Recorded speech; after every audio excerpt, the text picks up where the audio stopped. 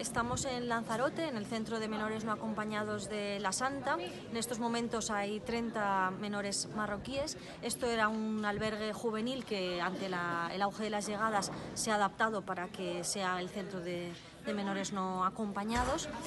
Nosotras entendemos que Canarias está viviendo las consecuencias de unas políticas europeas nefastas que han decidido cerrar a cal y canto las fronteras de Europa, que no tienen otra política migratoria que el evitar que alguien pueda poner un pie en Europa y las deportaciones y por tanto está viviendo estas consecuencias, ¿no? de como no hay forma legal y segura de llegar a Europa, a las personas no les queda otra manera eh, que poner sus vidas en manos de la mafia, que jugarse la vida en el mar y por eso bueno, pues están llegando de esta manera a, Canarias. Si hubiera formas legales de, llegar, si, hubiera, eh, si se diera visados, si se organizara de otra manera, no se estaría produciendo ni las muertes en el Mediterráneo ni estas eh, llegadas que entendemos también que son peligrosas para, para los menores que, que, se están subiendo a las, a las pateras. Nos preocupa mucho la situación en la que se quedan estos menores cuando cumplen 18 años, porque de aquí, eh, que este es un centro